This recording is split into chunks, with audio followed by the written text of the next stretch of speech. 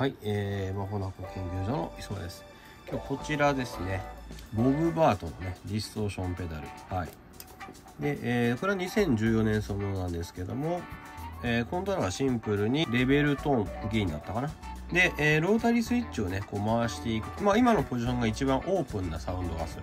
ところで、徐々に回すに歪み量とコンプレッション感がですね、されていくという。では早速ですね、ちょっと音を鳴らしていきたいと思います。えー、この動画を見て参考になったらよかったのでは、ぜひいいねですね、お願いいたします。あとチャンネル登録も合わせてお願いいたします。では、どうぞ。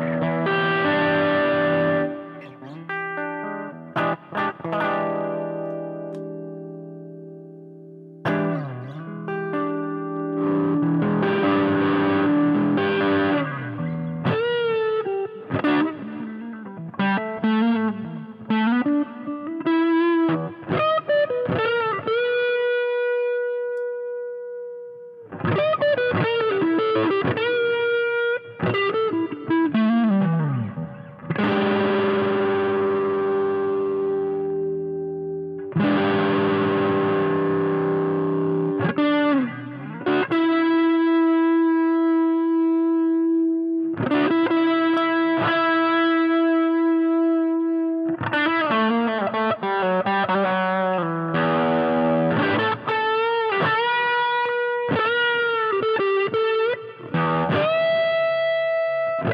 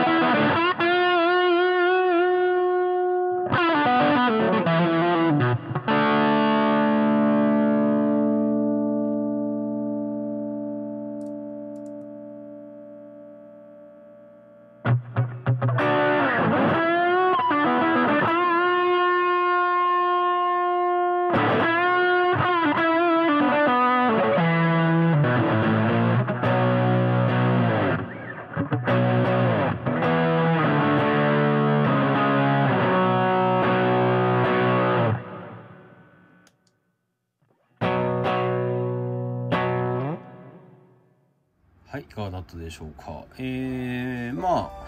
僕の正直率直な感想としては、まあ、ディストーションペダルというんですけどそのいわゆるエフェクター臭いディストーションというよりは、まあ、ちょっとこうアンプの歪みっぽいディストーションサウンドが得られるペダルだと感じました。でもあの動画でもねあのロータイスイッチ触りながらいろいろ触ってたんですけども、まあ、一番オープンな音がするこのモードでもえー、原因がゼロで歪みます。なので完全クリーンが、もちろんディストーションペダルなんで当然だと思うんですけど、まあクリーンは出ないんですけど、まあギターボリュームね、絞ってあげればクリューンも出せる。まあそういった懐の広さもあります。動画では僕あの、原因をね、12時ぐらいから上げてなかったんですが、えー、まあ結構十分歪むので、まあ好みとはいえ、まあそれ上げなくてもいいんじゃないかなでトーンに関しては、えー、モードをね、やっぱあの歪むモードにすると音量も下がるんで、まあ、レベルとトーンを上げていってあげるといいんじゃないかなと。で、えー、かといってトーンがね、結構いい感じの聞き方してまして、えー、例えばこ